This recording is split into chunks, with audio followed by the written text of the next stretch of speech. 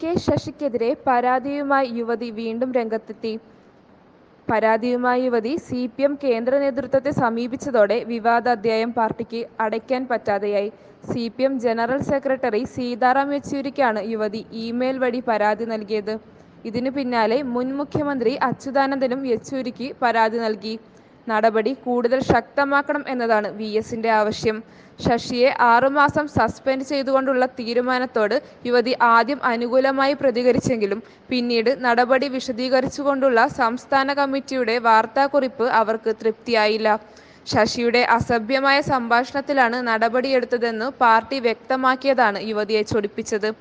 Party പറഞ്ഞതുപോലെയുള്ള നടപടി മാത്രമല്ല ശശിയുടെ ഭാഗത്തു നിന്നും ഉണ്ടായതെന്നും യുവതി വ്യക്തമാക്കി.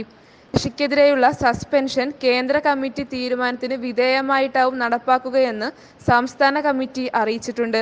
സംസ്ഥാന കമ്മിറ്റിയുടെ തീരുമാനം കേന്ദ്ര നേതൃത്വം പരിശോധിക്കുമ്പോൾ വി എസിന്റെയും യുവതിയുടെയും കത്തുകൾ പരിഗണനയിലുണ്ടാകും.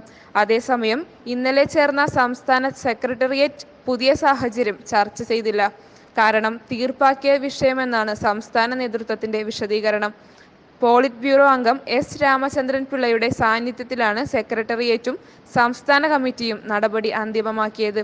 ഇനിയുള്ളത് കേന്ദ്ര നേതൃത്വം പരിശോധിക്കട്ടെ എന്ന നിലപാടിലാണ് നേതാക്കൾ.